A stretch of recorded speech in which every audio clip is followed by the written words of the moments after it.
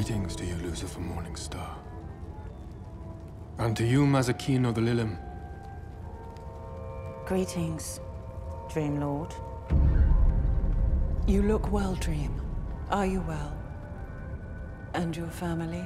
Destiny, death, despair, and the others?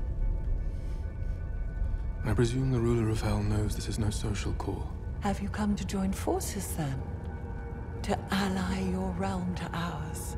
To acknowledge the sovereignty of Hell? You know my feelings on that, Lightbringer. Feelings change. Especially when one has been caught and imprisoned by mortals. We expected better of you, sweet Morpheus. I have come because my Helm of State was stolen from me. I believe one of your demons has it. I should like it back. Now. Dream. If only it were that easy. But there are rules, you see. Protocols which must be followed. Which demon has your helm?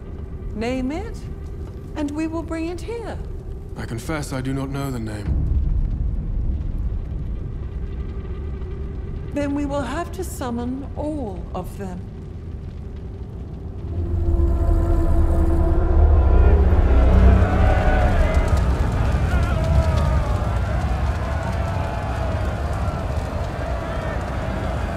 There now, Dream, you may inquire. Which demon has your helmet? Shall we interview them one at a time, or...? That won't be necessary.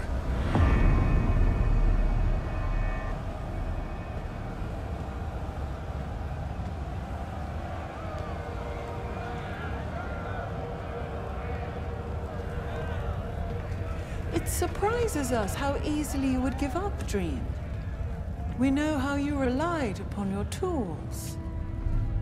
But tools are the subtlest of traps. We become reliant upon them, and in their absence, we are vulnerable, weak, defenseless. Not entirely.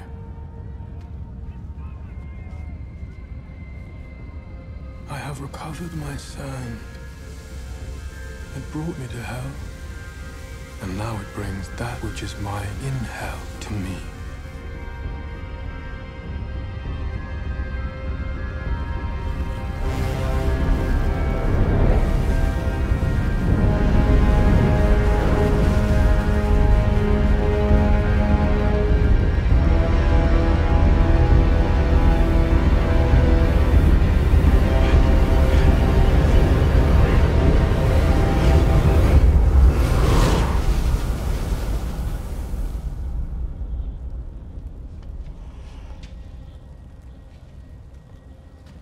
Tell me your name, demon.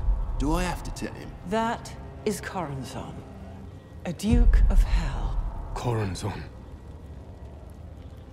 The helm is mine.